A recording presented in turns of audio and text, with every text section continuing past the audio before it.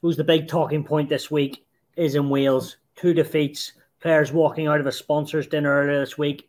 Talk of strike, not playing against England. Alun Wyn Jones saying, you know, yesterday, if you treat people badly for long enough, this is where you get to. That whole, you know, it seems to be such a big mess between the WRU and the regions and the players' salary. Like, what do you make of it all? It's a real sad situation, isn't it? It's a very difficult one um, because I think uh, it's the last thing they need need is need at the moment. Obviously, they've had other issues in previous weeks um, about you know um, working conditions in the WRU and lots of stuff coming out there, which was uh, unsavory and and and timing of it terrible right before Six Nations. So it seems like they have a lot of challenges and issues going on. Um, this one is obviously financial, and it's um, uh, financial issues with with uh, uh, the money that the WRU give to the regions. Um, and also then that has a knock-on effect on what what the the players are paid and the salaries they're paid. So I know from a player's point of view that you know if you're coming into the final year of your contract, you're negotiating November, December, hoping to put it to bed before Christmas, um, knowing that you're either moving on or you're signing a new contract, and it gives everyone time to get their squads together and and know who's available from. Um, when you're in February and guys have uh, a couple of months left in their contracts and they're not sure whether where they're going, and I listened to Alun Wyn Jones yesterday speaking about you know players uh, now being in a position where it's becoming more difficult if they have to move because in France in the UK, um, in the provinces here, you know, it's standard practice that they try and get their business done pre-Christmas and they make their announcements kind of end of January, start of February, and these deals are done weeks ago. Um, so it's it's a tough one. It's a tough situation. The players, I feel for them, um, because you know that security of of knowing where you're going to be next year, where you're living. A lot of them have kids and partners and wives and stuff like that. So it's a big knock-on effect. The reality here, though, is. Um, they have financial issues. So the agreements that are kind of in principle in place with the regions that are being proposed, um, they're reduced and the money is reduced and they've had pay cuts. And, and I know Matt is going to talk more about that. Uh, but it's a really messy situation and it's the last thing you need with your team losing the first game to Ireland, then losing comprehensively a record score in Murrayfield. So um, I don't know. Warren Gatland is probably scratching his head, saying, "What? What? Why did I come back here?" Um, I, I'm I'm saying that in jest. I don't think he is, but I think there's a lot of issues here and problems. Um, part of one of the statements from the WRU, in which the PRB chairman, the players' professional or the board, announced that the professional rugby board, sorry, the PRB, they put out a statement which was um, seen as being disrespectful and, and disappointed by the players' union. Uh, the new agreement offers a complete funding package to the professional game in Wales, but it does come with financial limitations which will directly affect salary negotiations. So, in other words, um, and he says the cold facts are that the WRU and the clubs have been paying salaries that their businesses cannot afford. So it's totally down to money here. So in other words, if you're running a business and you're paying your staff uh, more than you can afford, and that's what it is. So it's it's a shame to see because um, you know we've we've a great connection with Welsh players, clubs in the URC um, at international level. I've lots of friends who played and are still playing for Wales. Um, so it's sad to see, and the players are stuck in the middle here and they've got to stick up for themselves and know their market value and obviously they make decisions then about whether they will take a pay cut another one um, I just think Alun Wyn Jones was was he looked angry yesterday. He looked really disappointed at what's going on. So um, it's a really tough situation, and it's sad to see. Yeah, Matt. From all intents and purposes, it seems to be you know a cut of COVID, twenty percent, as you're going to speak on it. Another tw- 20% maybe cuts. Like you just got to feel so sorry for the players. Stu, it's all about governance, and Welsh rugby has had poor governance for, you know, getting on two decades now.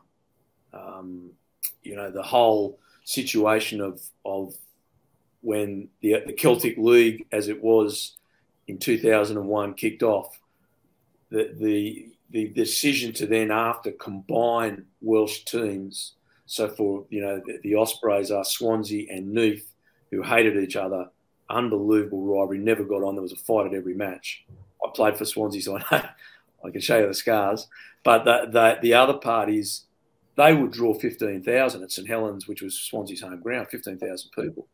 You know, and you, you go to the Gnoll at Neath. It, it, I can't remember the exact figures, but the, the joint was packed. You, would go to Llanelli and and play at the at Stradey Park, the beautiful Stradey Park, it would be heaving. I know Alan's played there. It's a fantastic place. You go to the new grounds now with the new franchises, they're getting 2,000 people to these things. It is a financially unsustainable model. So if Leinster and Munster and Ulster, if, if they're only getting 2,000, like we wouldn't have the success and we'd have a crisis on our hands in Ireland. Now we don't. But this is because they've lost the Welsh public. And this is all about governments and leadership from the top. And Alan's right. It, it, you know, like in a business, it, at a certain point, it becomes unsustainable, and Welsh rugby's hit that. Now, they should have intervened in this many, many, many years ago. Um, I, I, literally bumped into a former Welsh uh, player yesterday who's, who's, still playing here in France. Um, I've known him for many years, and he told me exactly what you said. So this is factual that the players took 20% during COVID and they've been asked to take another 20% now. That's a 40% cut, and we all know the cost of living has gone through the roof. And and uh, you know when they come out and say the average a player gets is 100,000, whenever someone says average, my ears go up because that means someone at the top is getting a lot of money, and the boys down the bottom might be on 30, 40,000 pounds before tax. So the players are in a lot of strife. Uh, where do they go to? What do they do? What's their motivation? Uh, can they get another gig somewhere? Can they get another contract? And I can see why Alun Wyn Jones is upset he's a guy who's given his life to Welsh rugby. Given it, no one could give more than he's gone. He's an absolutely inspirational man and a, and a guy to admire for every reason. The way he's conducted himself, the way he's played off the field, the way he's conducted himself, his leadership, and he's seen something he's given his life for crumbling. And, uh, you know, I, I, I, know it feels because I've seen that in Australia. I've seen that happen in Australia. And that's all about the boardroom at the, at the national level.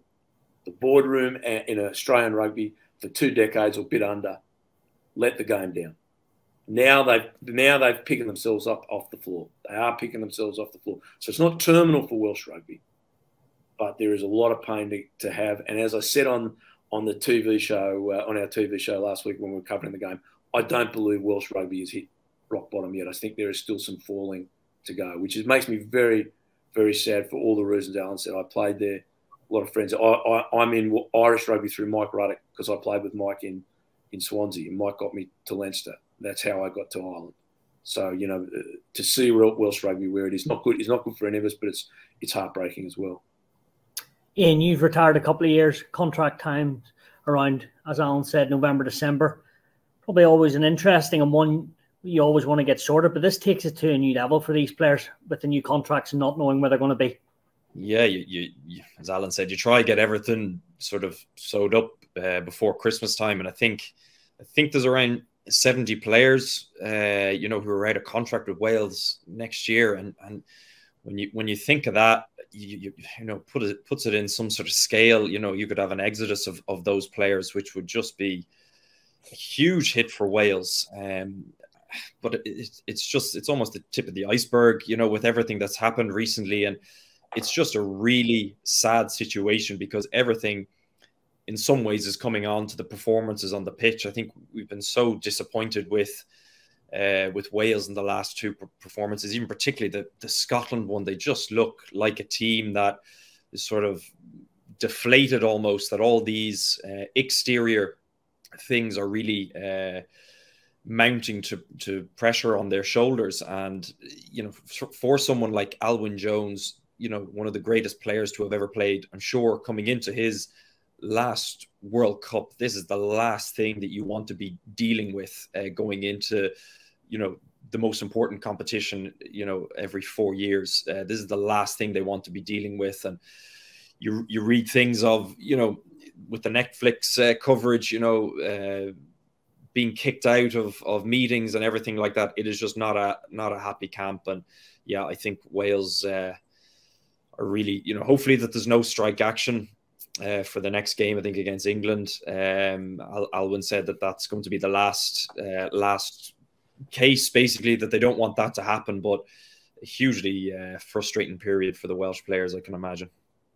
If, if yeah, they well, strike, uh, if they strike for the England Wales game or the Wales England game, and it doesn't go ahead, that's going to cost them millions. So the last thing they need to do, uh, and I know that's that's the players who are you know very very fed up, but I really hope that that doesn't happen. Obviously, the Six Nations is messed up then as well, um, but you know the financial implications could be even worse. So hopefully they can make some progress. They need investment, Matt. I I I think they need someone to underwrite them or support them, or whether it be a financial institution and get get money and lots of stuff that has to happen probably in the Welsh game.